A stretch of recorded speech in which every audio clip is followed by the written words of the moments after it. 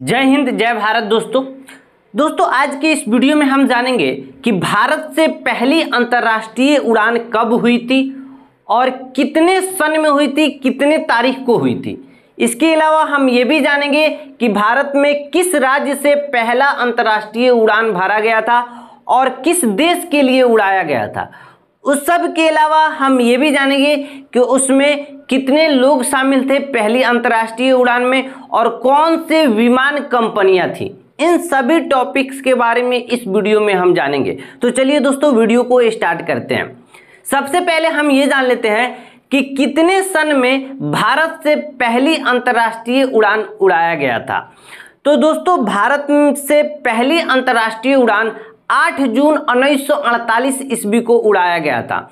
और अगर हम राज्य की बात करें कि कौन सी राज्य से ये पहली अंतर्राष्ट्रीय उड़ान उड़ाया गया था तो दोस्तों महाराष्ट्र के मुंबई के एयरपोर्ट से ये उड़ान भरा गया था, जो लंदन देश के लिए उड़ाया गया था।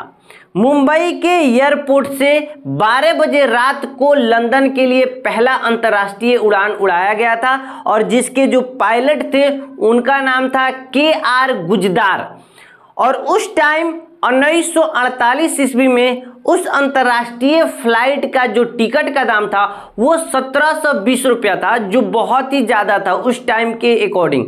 अभी के टाइम से तो इसको नॉर्मल कह सकते हैं, लेकिन 1948 ईस्वी में सत्रह सौ रुपया होना बहुत ही मुश्किल था। बड़े बड़े उद्योगपतियों के पास उस समय इतने रुपये हो पाते थे, वही लोग जा पाते थे। और उस अंतर्राष्ट्रीय फ़्लाइट में कुल थर्टी लोग शामिल थे, यानी पैंतीस लोग शामिल थे और यह पहली अंतर्राष्ट्रीय फ़्लाइट टाटा एयरलाइंस के द्वारा किया गया था। और 1948 ईस्वी के हाल ही में टाटा एयरलाइंस को सरकार ने खरीद लिया था और टाटा एयरलाइंस का नाम चेंज कर कर एयर इंडिया हुआ था।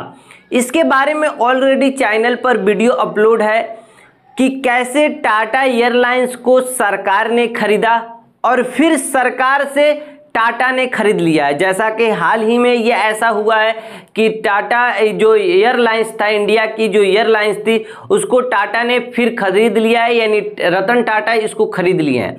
तो कैसे ये पहले प्राइवेट कम, विमान कंपनी थी, फिर सरकारी हुई, फिर सरकारी से अब प्राइवेट हो गई है। इन सभी के बारे में ऑलरेडी चैनल पर वीडियो अपलोड है। आपको डिस्क्रिप्शन में भी लिंक मिल जाएगा या आप आई बटन से भी उस वीडियो को देखकर समझ सकते हैं। तो दोस्तों, हम आते हैं मेन टॉपिक्स पे। दोस्तों, जो 35 लोगों को शामिल करके 12 बजे रात को मुंबई के एयरपोर्ट से ये अंतर्राष्ट्रीय फ़्लाइट जो पहली अंतर्राष्ट्रीय फ़्लाइट उड़ी थी, वो 10 जून को लंदन पहुँची। क्योंकि बीच में दो देश में भी ये फ़्लाइट लैंड हुई थी। पहले देश में ये मिस्र में भी लैंड हुआ था। मिस्र के काहिरा जग, एक जगह है वहाँ पे लैंड हुआ था। फिर वहाँ से रोम भी लैंड हुआ था। फिर रोम से उड़ने के बाद ये लंदन गया था। तो इस तरह दो दिन इस फ़्लाइट को लग गया था पूरे होने में। एग्जैक्ट यही कहा जाता है कि मुंबई से उड़कर ये लंदन के लिए पहली उड़ान जो अंतर्राष्ट्रीय कराया गया था, वो मुंबई से लंदन गया था। और इसमें 35 लोग जो शामिल थे, इसमें जामनगर के नवाब अमीर अली खान भी शामिल थे।